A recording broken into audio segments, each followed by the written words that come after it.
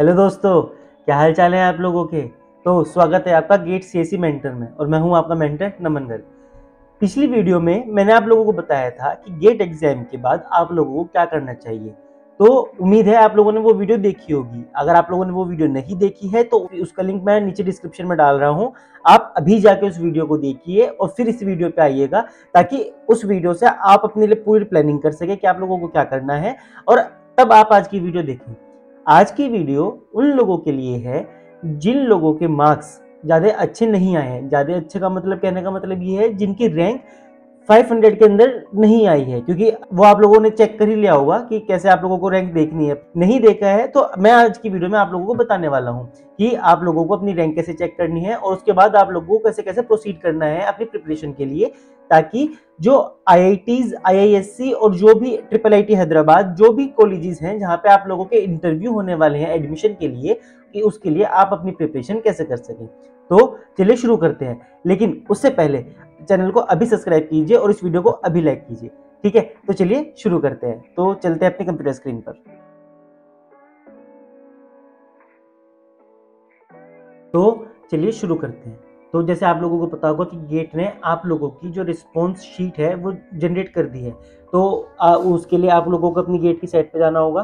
अपने उस पर पोर्टल पे लॉगिन कीजिए और लॉगिन करने के बाद आपको आप लोगों की रिस्पॉन्स शीट दिख जाएगी। अब आप लोगों को क्या करना है कि वो जो रिस्पॉन्स शीट है उसका यहाँ से लिंक उठाना है और उस लिंक को इस साइट पे जाके जो गेट ओवर फ्लो की रैंक प्रिडिक्टर है यहाँ पे जाके आप लोगों को यहाँ पे नीचे इस पोर्शन में उस लिंक को पेस्ट कर देना पेस्ट करने के बाद आप जैसे ही सबमिट करेंगे तो आपको पूरी की पूरी आपकी रिस्पॉन्स शीट जो है वो एनालाइज होकर मिल जाएगी।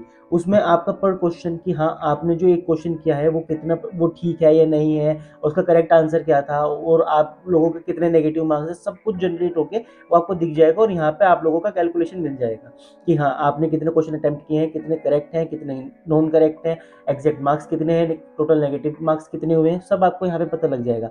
तो उससे आपको आइडिया लग जाएगा और यहाँ पे जैसे ये क्लिक है फॉर रैंक है तो जब आप रैंक पे क्लिक करेंगे तो आपकी रैंक भी जनरेट होकर आ जाएगी कि हाँ आप लोगों की रैंक कितनी बैठ रही है। तो इस साइड से आपको फुल आइडिया मिल जाएगा कि आप लोगों की रैंक और आप लोगों का गेट स्कोर क्या आने वाला है, आप लोग किस रेंज में बैठने वाले हैं। ये साइट 95 परसेंट तक एक्यूरेट रहती है। तो काफ़ी हद तक आप लोगों को आइडिया लग जाएगा कि अब आप लोगों को अपनी आगे की प्लानिंग कैसे करनी है। ठीक है? अब मान लीजिए आप लोगों की रैंक 500 के अंदर नहीं है और आप लोगों को डायरेक्ट आईआईटी के अंदर एडमिशन नहीं मिल रहा है। या मिल रहा है तो थोड़ी लोअर आईआईटी में मिल रहा है। लोअर आईआईटी मतलब जैसे आईआईटी हैदराबाद में मिल रहा है। तो और आप लोगों को चाहिए कि नहीं, मेरे को तो आई एस बेंगलोर ही जाना है या आई बॉम्बे ही जाना है। तो उस कंडीशन में आप लोग क्या कर सकते हैं? आप लोग ये कर सकते हैं कि जैसे आई आई सी बेंगलोर है। आई आई सी बेंगलोर अपना अलग से एक एग्ज़ाम लेती है, तीन साल का आरए का, उसमें वो क्या करती है, जैसे आप लोगों की गेट स्कोर के हिसाब से आप लोगों को बुलाती है, आपका वहाँ पे रिटर्न लेती है, फिर इंटरव्यू लेती है और अगर आप लोगों का ये दोनों क्लियर हो जाता है तो आपको आई बेंगलोर में तीन साल का आरए मिल जाता है। और ये डेटा डेटा साइंस और कंप्यूटर साइंस ये दो डिपार्टमेंट में आई बेंगलोर कराती है। पहले एआई में नहीं कराती थी, शायद अब ए में भी कराने लगी होगी। ठीक है? और उसी तरीके से आईआईटी बॉम्बे आईआईटी बॉम्बे भी यही काम करती है, जैसे आईआईसी बेंगलोर करती है, वो भी तीन साल का होता है, और उसमें भी आप लोगों को डायरेक्ट मतलब पहले रिटर्न होगा, और उसके बाद इंटरव्यू होगा, उसके बेस पर आप लोगों को एडमिशन मिलते हैं। तो इसी तरीके से होता है। ऐसी ट्रिपल आईटी हैदराबाद है। ट्रिपल आईटी हैदराबाद में क्या होता है कि वो अपना, उसके लिए आपको अलग से एग्ज़ाम भरना पड़ेगा, उसका अलग से रिटर्न होगा और उसका अलग से रिटर्न होने के बाद जो लोगों का रिटर्न क्लियर होगा, उन लोगों को इंटरव्यू के लिए बुलाया जाएगा और उन लोगों का इंटरव्यू होगा। जैसे आईआईटी बॉम्बे और आई बेंगलोर में ये होता था कि वे लोग बुलाते थे आपके गेट स्कोर के बेस पर आप लोगों को, जब आप अप्लाई करते थे। लेकिन यहाँ पे ऐसे नहीं है। आप लोगों ने अगर एग्ज़ाम भरा है तो रिटर्न आप सब लोग देंगे। उसका प्रॉपर जैसे गेट का टेस्ट सेंटर लगता है, उसी तरह टेस्ट सेंटर लगेगा। वहाँ पे आप जाएँगे, आप अपना टेस्ट देंगे, उसके बाद जाके आपको I triple I T Hyderabad आप लोगों को इंटरव्यू के लिए बुलाएगा और आप लोग इंटरव्यू देंगे। तो ये प्रोसेस है। अब बात ये है कि आप लोगों को इसके लिए तैयारी कौन कौन सी सब्जेक्ट पढ़ने हैं क्या क्या करना चाहिए? तो चलिए अब शुरू करते हैं, उसके बारे में बात, क्या करना चाहिए? तो देखिए इंटरव्यू के लिए आपके जो पाँच सब्जेक्ट हैं, डा data structure operating system DBMS और नेटवर्क्स ये पाँच सब्जेक्ट ऐसे हैं जो आप लोगों को बिल्कुल रिवाइज करके अच्छे से जाने चाहिए, क्योंकि इंटरव्यूज़ में पूछे जाते हैं। देखिए, सोचने वाली खुद बात है टीओसी कोई नहीं पूछता है कंपाइलर कोई नहीं पूछता है, ठीक है? सीओ कंप्यूटर ऑर्गेनाइजेशन कहीं कहीं पूछा जा सकता है, पर उतना ज़्यादा अमाउंट में नहीं पूछा जाता है। मतलब ना के बराबर ही पूछा जाता है। अच्छा रही डिस्क्रीट मैथ डिस्क्रीट मैथ भी कोई नहीं पूछता है तो इस तरह इन सब्जेक्ट्स को कोई नहीं पूछता है। जो मेन ज़्यादा सब्जेक्ट पूछे जाते हैं, वो है डा data structure operating system DBMS और कंप्यूटर नेटवर्क्स अच्छा ये तो पूछे जाते हैं, जो इंटरव्यू में पूछे ही पूछे जाएँगे, ये सब्जेक्ट पूछे जा सकते हैं बहुत आराम से, ठीक है? चाहे वो डेटा साइंस का हो इंटरव्यू या वो कंप्यूटर साइंस का हो, ये पूछे जा सकते हैं, ठीक है? अब बात ये आती है कि मान लीजिए डेटा साइंस में पर्टिकुलर डेटा साइंस में आप लोगों से एक्स्ट्रा क्या क्या पूछा जा सकता है? वो पूछा जा सकता है आप लोगों का, एक तो लीनियर एल्जेब्रा और एक प्रोबेबिलिटी ये दो टॉपिक ऐसे हैं जो आपके इंटरव्यूज़ में भी पूछे जा सकते हैं रिटर्न में तो पूछे ही जाएँगे, वहाँ पे जो आपका रिटर्न एग्ज़ाम होगा, वहाँ तो आएँगे इनके क्वेश्चन साथ में इंटरव्यू में पूछे जा सकते हैं। तो अब बात करते हैं कि इनकी तैयारी आपको लोगों को कहाँ से करनी चाहिए। तो जैसे मैंने आप लोगों को बताया है जो जो आप लोगों के डेटा स्ट्रक्चर डा डीबीएमएस ऑपरेटिंग सिस्टम और सी इन पाँच की तो जो इंपॉर्टेंट टॉपिक्स हैं, उनकी वीडियो मैं अपने इस चैनल पर बना चुका हूँ। आप जाइए, उन वीडियो को चेकआउट कीजिए। आप लोगों को आइडिया लग जाएगा कि कौन कौन से इंपॉर्टेंट टॉपिक्स हैं, जो आप लोगों को रिवाइज करने चाहिए इंटरव्यू के लिए। ठीक है? तो उनका तो वहाँ से शॉर्ट हो जाएगा। अब बात आते हैं हम लोग लीनियर एल्जेब्रा पे। तो लीनियर एल्जेब्रा के लिए यूट्यूब पे जाइए और यूट्यूब पे सर्च कीजिए लीनियर एल्जेब्रा गिलबर्ट स्ट्रैंग का जो लेक्चर है लीनियर एल्जेब्रा के ऊपर, ये वाली प्लेलिस्ट है। इस वाली प्लेलिस्ट को देखिए और इस इसको कंप्लीट कर लीजिए। अगर आपने इसको कंप्लीट कर लिया तो आप लीनियर एल्जेब्रा के इंटरव्यू में कहीं नहीं फंसेंगे। इसकी थर्टी फाइव वीडियोज़ हैं, लेकिन आप दस पंद्रह वीडियोज़ के अंदर आप लोगों का काम हो जाएगा। ठीक है? तो ये ये आप लोग यहाँ से आप लोगों का लीनियर एल्जेब्रा शॉर्ट हो जाएगा। अच्छा बात आती है प्रोबेबिलिटी की। प्रोबेबिलिटी के लिए आपके पास नोट्स होंगे, आप लोगों ने क्वेश्चन प्रैक्टिस कर रखी होगी तो आप लोग वहाँ से कीजिएगा। जनरली इंटरव्यूज़ में प्रोबेबिलिटी तो नहीं पूछी जाती रिटर्न में रिटर्न रिटर्न एग्ज़ाम से पूछी जाती है। तो उसके लिए आप लोग वहाँ से देख लीजिएगा। ठीक है? अब बात आती है कि यार हम लोगों ने पाँचों सब्जेक्ट रिवाइज कर लिए प्लस हम लोगों ने लीनियर एल्जेब्रा और प्रोबेबिलिटी भी देख ली। तो इनके बेस पर काम चला जाएगा क्या? बात यह है कि ये तो है इंटरव्यू में, आप लोगों से जो इंटरव्यू में पूछा जाएगा बात यह है जो रिटर्न होगा रिटर्न में भी तो आपको कुछ करना पड़ेगा ना तो रिटर्न के लिए आप लोगों को करनी पड़ेगी डेटा स्ट्रक्चर की और डा की, इन दो टॉपिक्स की कोडिंग की प्रैक्टिस तो उसके लिए मैं आप लोगों को दो साइट बताता हूँ, एक है हैकर अर्थ और एक है हैकर रैंक इन दोनों साइट पर जाइए और यहाँ से आप प्रैक्टिस कर सकते हैं। लेकिन यहाँ पे भी आप जब जाएँगे तो आपको बहुत कुछ दिखाई देगा।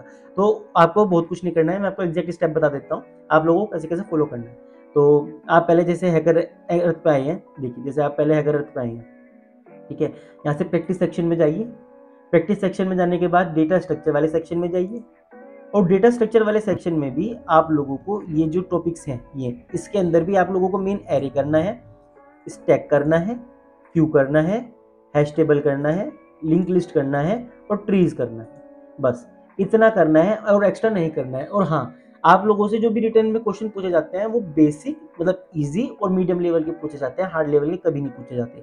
तो इसीलिए सिर्फ़ और सिर्फ़ इजी और मीडियम लेवल के ही कीजिए। जैसे यहाँ पे आप लोगों को लेवल शो कर रहा है ना, देखिए, यहाँ पे हर क्वेश्चन के आगे लेवल शो कर रहा है इजी मीडियम तो सिर्फ़ इजी और मीडियम के ही क्वेश्चन कीजिए इन टॉपिक्स के। बाकी छोड़ दीजिएगा।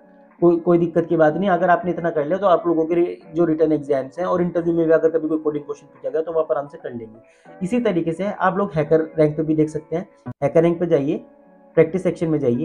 यहाँ पे प्रैक्टिस सेक्शन में जाने के बाद यहाँ पे डेटा स्ट्रक्चर का सेक्शन दिख रहा होगा ये रहा। इस पर जाइए। यहाँ पे जाने के बाद आप लोग सेलेक्ट कर सकते हैं, देखिए इजी और मीडियम जैसे मैंने आपको बताया इजी मीडियम के क्वेश्चन पूछ जाते हैं तो उन दोनों को सिलेक्ट कर लीजिए।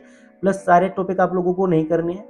Array link list tree, balance trees, stack, queue और हीप।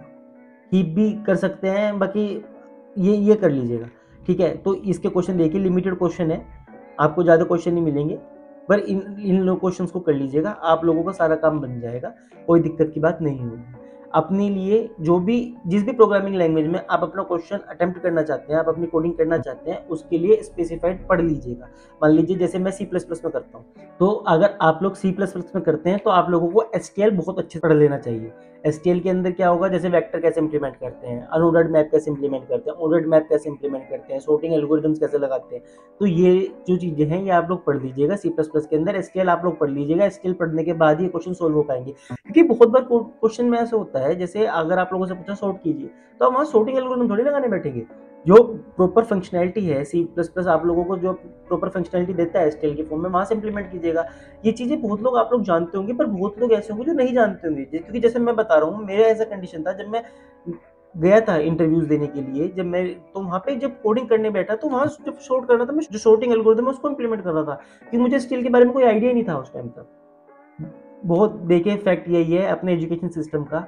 कि बीटेक वगैरह में प्राइवेट कॉलेजों में कुछ नहीं पढ़ाया जाता, जो भी पढ़ते हैं स्टूडेंट्स खुद पढ़ते हैं अपने आप।